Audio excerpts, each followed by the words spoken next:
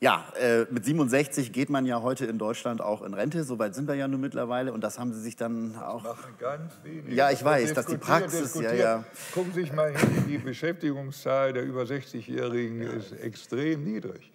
Also wir sind noch weit davon entfernt. Ich finde, es muss wirklich gelernt werden, dass in einem Land, in dem Fachkräftemangel wirklich sichtbar ist, trotz hoher Arbeitslosigkeit, es muss gelernt werden, eine Kultur entwickelt werden, wie wir kompetente Leute, die wir dringend brauchen, nicht so früh wie möglich aufs Altenteil schicken, sondern ihnen möglich machen, das müssen sie natürlich auch wollen, möglich machen, dass sie vielleicht mit halber Arbeitskraft, mit halber Arbeitszeit, aber doch bitte noch im Geschäft bleiben, weil wir sind auf die angewiesen. Wir können es überhaupt nicht leisten, die alle wegzuschicken. Das muss erst mal gelernt werden. Und wenn das gelernt ist, dann müssen wir irgendwann mal über Renten Daten reden. Aber jetzt müssen wir erstmal ausprobieren, wegzukommen von dem so früh wie möglich nach Hause. Ich habe Leute mit 50 Jahren in den Vorruhestand geschickt. Das würde ich doch heute nie mehr tun. Ich würde sagen, können wir nicht einen Weg finden, wie du durch Weiterbildung und Weiterqualifizierung vielleicht nicht so körperlich mehr schwer, aber dann doch mit deiner Lebenserfahrung noch bei uns bleiben kannst, wie du den Jungen vielleicht helfen kannst, dass sie ins Geschäft kommen. Es ist dusselig, die Leute alle so früh wie möglich nach Hause zu schicken. Es ist intelligent, in die Personen zu investieren, durch Weiterqualifizierung und durch altersangemessene Arbeitsmöglichkeiten. Humanität des Arbeitsplatzes muss man auch altersgerecht verstehen. So denke ich. Ja.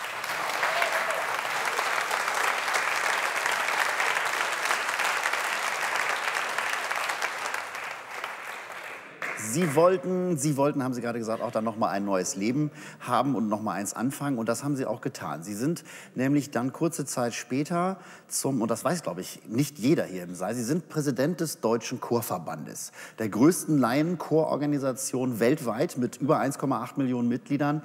Ähm, ich war damals selber äh, im Vorstand auch eines großen Sängerbundes hier im Oldenburgischen Sängerbund aktiv und ich habe das natürlich mitverfolgt und war natürlich auch begeistert. Keine 100 Jahre Jubiläum. Ja, da, genau. Genau, jetzt in diesem Jahr 100 ja, genau. Jahre Oldenburgischer Sängerbund, ganz genau.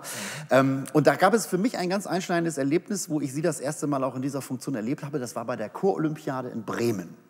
So, da müssen Sie sich mal vorstellen, ich erzähle das mal ganz kurz. Da war äh, eine große Veranstaltung, über 2000 Leute saßen in der Halle und Henning Scherf. 10.000. Äh, ja, ja, wir waren aber dann, das war diese Eröffnungsveranstaltung. Ich glaube, da waren, das kann auch sein, dass es 10.000 waren. Also es waren gefühlt ganz viele. Ja.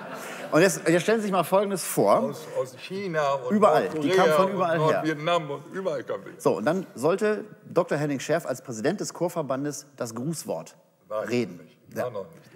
Aber Sie sollten es werden. Und das war Bürgermeister. Das Nein, war, da lassen Sie mich Sie kurz die erzählen. Idee erst gefasst, dass ich das werden Sehen Sie, könnte. dann, dann war es so. Ich Genau. war Aber was Ich war- ich passierte? nicht, ich Dr. Schärf geht ans Rednerpult und alle lehnten sich zurück und dachten, okay, Grußwort eines Politikers. Können wir mal einen Moment abschalten.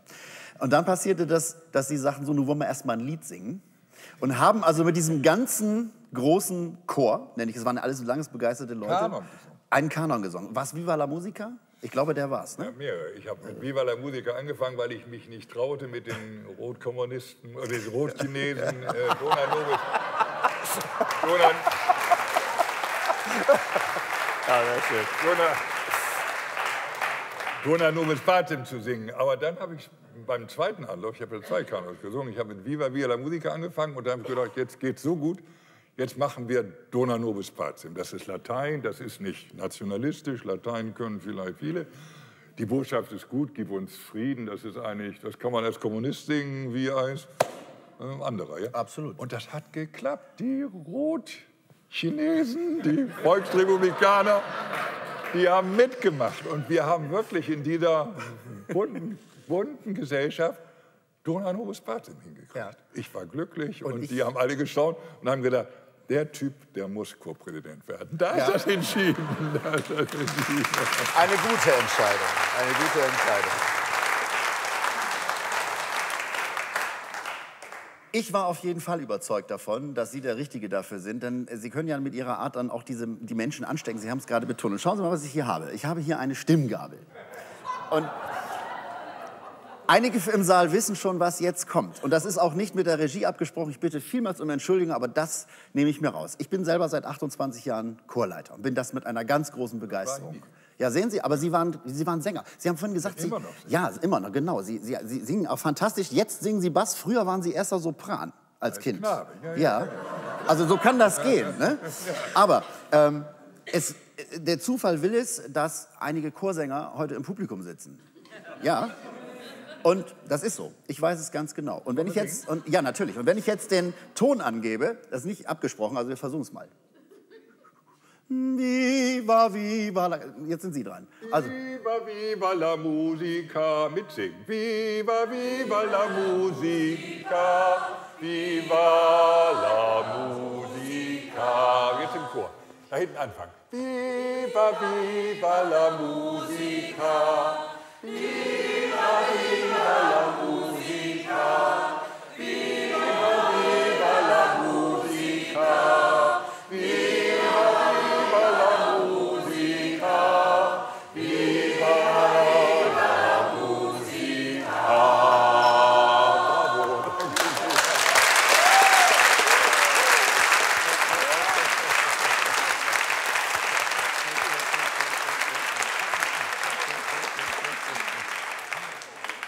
wissen Sie was? Darauf habe ich mich den ganzen Abend gefreut. Sie haben auch unser Publikum längst überzeugt. Und vielleicht ist ja auch der eine oder andere Chorvorstand hier. Es gibt sicherlich auch Eintrittsformulare für einen Chor Ihres Vertrauens. Es gibt sehr viele Chöre. Der Oldenburgische Sängerbund hat alleine 180 Mitgliederchöre mit über 5000 aktiven Sängerinnen und Sängern. Und doch sieht man, wenn man mal so in die Dörfer, auf die Dörfer guckt, wo es sehr viele alte Traditionschöre gibt, dass die doch auch immer älter werden. Das heißt aber ja nicht, junge Leute singen nicht. Das sehen wir ja, auch im Chor. Wie sind da Ihre Erfahrungen jetzt als Chorpräsident? über 4000 Kindergärten in Deutschland, die mit uns zusammen über den Felix, die kriegen dann richtig so ein Schild so ein, und üben auch richtig, Singen in Kindergärten machen. Und ich habe beobachtet, dass die Kindergärten mit dem Felix werben. Also die sagen, Eltern, schickt eure Kinder in unseren Kindergarten, weil in unserem Kindergarten wird anspruchsvoll gesungen. Und da habe ich Hoffnung drauf, dass diese Kinder, die da im Kindergarten vielleicht zwei, drei Jahre gesungen haben, in die Schule kommen und sagen, Herr Lehrer oder Frau Lehrerin, warum wird hier nicht gesungen?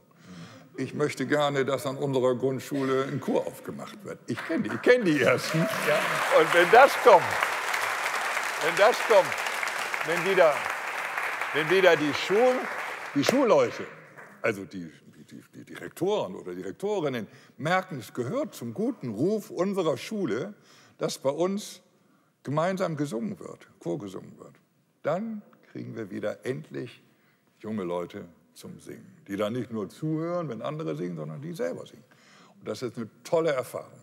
Das ist für den Kopf gut, das ist fürs Herz gut und das ist auch für den Körper gut, wenn man sich selber mit Sängern zusammen darstellt.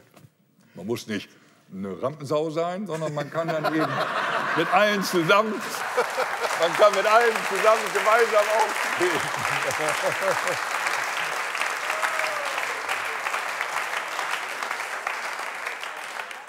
Herr Dr. Scherf, Sie, unsere Künstler, ich glaube sogar Olli, auf jeden Fall unser Publikum und ich, wir sind uns einig, Chor und Gesang macht gesund, hält gesund und wir gehen mit gutem Beispiel voran und ich danke Ihnen herzlich für dieses sehr, sehr schöne Gespräch. Dr. Henning Scherf, vielen Dank.